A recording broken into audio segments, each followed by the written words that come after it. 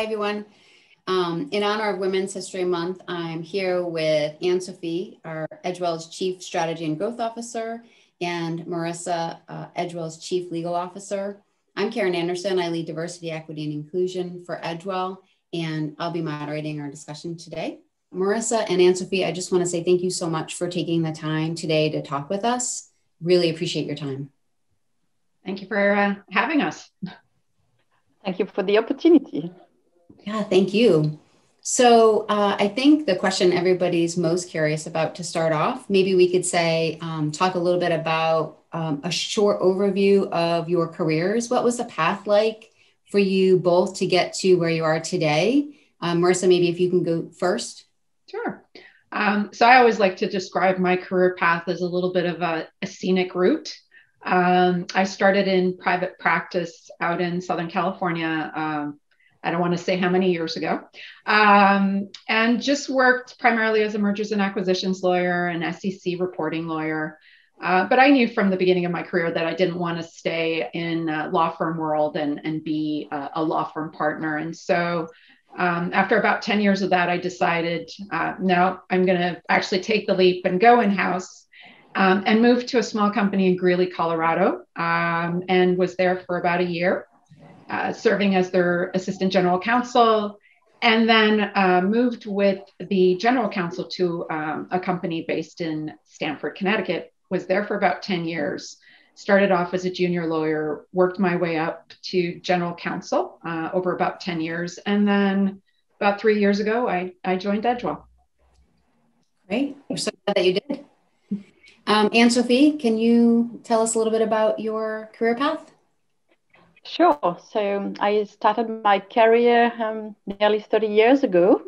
So yesterday, um, I spent my first 10 in marketing, category management positions in France, in Europe, uh, sometimes running global projects. Um, then I, I think at that time I joined my first market leadership team. I was uh, around 27. I became the uh, general manager of France at the time of the Energizer and uh, personal care merger. I was in my mid 30s and then progressively evolved as the regional leader for all the South Europe business, uh, Middle East and Africa affiliates and teams. And since uh, four years, I've moved to uh, global positions. So, to get us started, um, perhaps we can talk a little bit about work work life balance. I know that's a topic that uh, everyone struggles with from time to time. Um, Sophie, can you talk to us a little bit about how you balance work and life? Uh, so, um, how do I balance work uh, and and uh, personal life? Um, I've been lucky to become a mother and educate two kids over this time uh, who are doing extremely well. Um, they are my best pride, I would say. Um, so yes, the work-life balance is a fundamental question for women in the in their 30s with kids under, I would say, the age of 8, 10 uh, at home. Uh, because they have not gained uh, enough autonomy. And that was critical at that time. Um, I want to say a couple of words here. I think uh, we're all here together because we we believe that the work environment needs to become more gender balanced, but same needs to happen at home. Uh, women need a balanced organization in the two streams of their life. Um, a working woman needs to feel good with the idea that she's a great mother, even if she works, at no guilt, no doubt, and feel super confident that she's bringing home a super rich experience for her work, uh, which will greatly, I think, inspire the kids in the family. And my last trick, uh, I have on top of my computer um, a note saying, um, better done than perfect. Um, I think women lacks confidence. We tend to be over prepared in everything we do to chase perfection. So better done than perfect. That's how I manage it. Thank you for that. I agree with you on a couple of fronts for sure. Um, I I just like to layer very yeah very quickly on that. I think you know I can appreciate how parents have that that struggle with um, the work life balance, but I think that's true even more broadly for everyone, right? Um, and I think we all struggle with finding as women trying to find the balance between I think you touched on this Anne Sophie feeling like you need to be over prepared and always like you know perfect right I, I think that's something that we women just inherently feel like we have to do to be successful um, and so we do work hard not always but we work hard we work long hours um, to get ahead and i think it's also a struggle for those of us like myself who don't have children but do find a very um, have a difficult time finding that balance in the work and the the life, the heart, the the work and the personal life, and and uh, it's a it's a struggle. It's a struggle, yeah. but um, it, it comes with building self confidence or mm-hmm. confidence in oneself, and that's not something we have in our genes, no, for whatever reason. Um, so yes, uh, we we need to be mindful of that. This question is for Marisa. Um, especially given what you just talked about. So, what are you most proud of? Um, you know, you're a very successful uh, woman in, um, you know, a wonderful company, if I may say so myself. But what would you say that you are most proud of? I take probably the the one element of my my role that I take um, very seriously is developing my team and for me, seeing my team succeed and excel and, and move up, um, you know, being promoted or taking on bigger opportunities, for me, that's something that I'm very proud of is when I see the success of um, my team. Uh, so that's always been uh, something that I've, it's always been like, wow, you know, I helped support someone in their development um, and in their success. So, Anne Sophie, were there any notable experiences in your career when you realized uh, gender equality isn't where it should be? Um, well, do I have uh, one minute or 10 minutes? Uh, you have 10. first, I want to say that I've um, I felt always very good in the companies I worked with and um, at Edgewell in particular. Um, when I became a leader, um, I had um, male direct report. And um, it happened sometimes that I experienced difficult situation when some men had difficulty to be led by a woman. Um, they believe that that was making them maybe less credible in front of their own team. So that has forces me to really open the dialogue up front to create um, um, a, a, trusty environment, to chase for the blind spot, to raise up the unsaid, and, and to define new ways of working, really questioning myself what I would bring to them. Um, I think their resistance may be better. Um, and I, probably one of my best achievements was to, re- to hear several of them spontaneously saying and sharing that they had a lot of prejudice and that the experience together ended, ended up being um, one of their most enriching one of their business life? I think like Anne Sophie, I you know, they're more like small experiences, not like one big aha kind of a oh, you know, that was a terrible experience, but it it was little things like you know being held to slightly different standard uh, in terms of how as a female you should behave in the workplace right uh, i'm i'm just a very high energy person to start off with um, almost always with a smile on my face, and that's just the way I am. And but you know, I think occasionally that has led to people either not taking me seriously or misjudging misjudging me. Um, and I think you know that that kind of there's a trickle effect to that, and you feel like maybe you need to overcome that, right? And so sometimes that's that's like you feel like you can't. This is uh, you know a very uh, important thing, but like you can't be authentic sometimes. You have to put on this persona because otherwise people won't take you seriously. And so I think that to me is maybe a, a little bit of a theme that runs through some of these negative experiences that I've had, where it's like you have to sort of overcome um, this perception that um, you needed to behave a certain way because you're female um, and uh, to be taken seriously. What what's one thing that people get wrong about women? Marisa we'll stay um, just that, one but this is a tough one because i think you know, there are a couple of things that came that come to my mind anyway. Um, for example, women are risk averse, or women are um, non-confrontational. Maybe is another way, you know, another thing that they, we don't we don't we don't like to fight. We don't like to argue. At least not in the work environment. Putting aside the the personal the personal environment, right? Um, you know, they like they like for things to be calm and nice and, and and I don't think I don't think that's true. I think that's that's a misperception of women. I mean, I think there are some women who thrive on conflict, just like there are some men who thrive on it. Um, but I do think there's I think that is one I would say that uh, one thing that uh, generalization about women that people get wrong. Anne-Sophie, what women what women's themes do you believe we still need to have greater awareness around? Um, I think helping women in their 30s. Um, I think it's a time where the company needs to care, protect, uh, listen to them. Uh, they are the leaders of tomorrow, and uh, we know the 30s are pivoting age uh, for success uh, in a professional career, and it's the period of time where also the men are evolving very fast in their career. So I think if we want to have more women in management teams, this period is critical.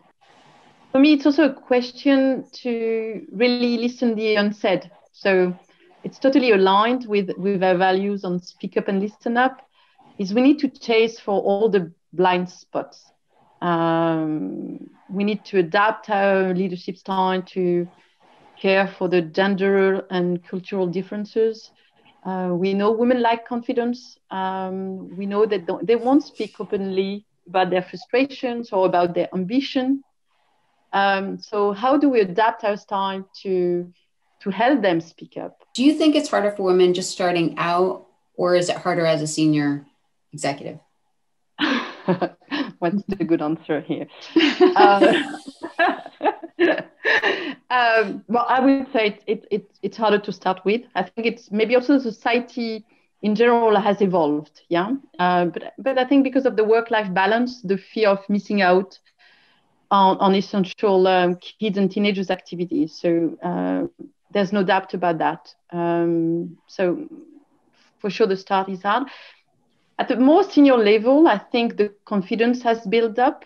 Uh, also, the networks has increased. So uh, we know how to get supported, how to where to find advice. So um, yeah, I think it's uh, it's hard, um, getting better, but still hard. It's funny. I, I think when I look through the lens of um, my profession, lawyers, I think today it's a lot easier for women in the as they're starting their career. I think their law firms have really set up themselves to attract uh, talent and to retain talent in, in, in a variety of different ways and, and giving women the opportunity to progress up the partnership track, as they call it in, in the law firm world. And I think that's true even for, um, you know, even when you move in house. I personally, I think it's it's probably the middle towards the senior levels where it becomes more of a struggle for women. Um, it's partly related to if a woman takes time off to have a, have a family. And that kind of holds you back or delays your progression or there may be this perception that you're not interested in moving up the ladder right? Because you have a family. Or you know it's the top of the pyramid right? There are fewer and fewer opportunities as you go up the top of the pyramid. And um, so i think it's definitely much more difficult as a senior as a senior uh, female executive than it is when you're starting out. That's that's at least today. I think it would have been different at the beginning of my career. It's getting easier, but it's still a challenge. So let's transition to Edgewell. Where do you think Edgewell needs to succeed to support gender equality? So I think we have uh, gender equality in our DNA. I think the Anglo Saxon culture has been quite progressive on this. And well, maybe it's a, a French perspective to this. But um, and I do think also Edgewell has the set of value to take that uh, very seriously. Uh, I'm super delighted that the um, ELT acknowledge uh, that it is not perfect yet and, and, and uh, has decided to be part of the leading company on this question. Uh, and it's a very genuine ambition. Um, the equation is, is, is more complex um, and, and there is more, uh, the, there is the other lens of diversity. Yeah? It's, it's different to be a woman in, in France, in Germany, in Japan, in China, in the US, maybe in California and, and Connecticut. Yeah. So um, there's a lot to do, uh, also to adapt to the, to the cultural differences. Marisa, where do you uh, believe that we have opportunities uh, to support it better? We're all humans. We all have these unconscious biases, right? And I think whether whether or not we we think that we do, right? Um, and I think it's it's it's teaching people how to over, overcome that, how to address that. And so, you know, I think you know, to Anne Sophie, I think you hit the nail on the head about the Edgewell culture really is one that I think we we we do embrace doing the right thing. You know, we do want to listen up and speak up. That's why we're we're we're launching. You know, we've launched the DEI initiative.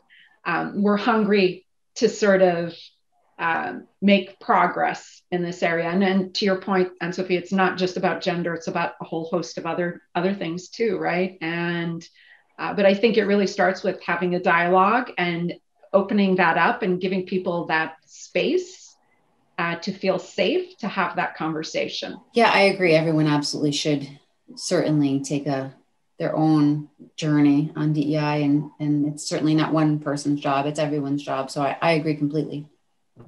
Um, so one other question, slightly different. Knowing what you know now, if you could tell your younger self one thing, what would it be? What advice would you give yourself? Um, never let someone give you bad conscience. You will be a good mother. um, and the second one is dare to aim high, state. Yeah. So I mean, yeah, dare to be ambitious and and, and dare to say it. Um, women sometimes don't share that. Yeah.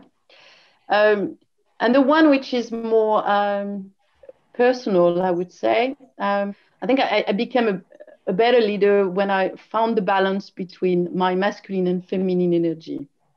Um, so the feminine energy, um, men and women have them in themselves, and I, and I do think that. Uh, um, the feminine energy is critical to change our world, you know, to, to develop a sentiment of sharing versus owning, of to remove the silo thinking, to some put self-esteem on the side, bring empathy in. Uh, so it's in every it's in every one of us, men and women. Uh, I think having a gender balance organization will help to accelerate this. I, I would say I wholeheartedly agree with you, Anne Sophie, about being authentic and being true to yourself. That would be one piece of advice I would give my younger self if I could go back. Um, and you hit the, the nail on the head too for another one for me is that don't expect people to hand you things on a silver platter. If you want something, express it. Don't be afraid to express it. There's, um, uh, you know, I feel like sometimes ambition is, has become a dirty word for women, and it shouldn't be. There's nothing wrong with being ambitious and and being vocal about it. And, um, you know, you should speak up, right? And um, so I think that would be something else that that I would have told my younger self.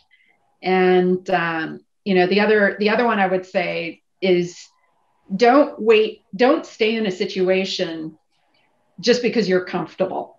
Um, you know, when you know it's not the right situation for you, right? Like staying in a job for too long just because you're comfortable and you don't want to make a move. Sometimes you have to break out of your comfort zone to go to the next level or to even just be happy. It's great advice. and really, um, for sure. Um, unfortunately, I think that's all the time we have for today. I just want to say uh, thank you so much, Marisa and Anne Sophie, for your time. I personally found the conversation so engaging and uh, really appreciate you sharing your experiences and your advice with me and for everyone else to see.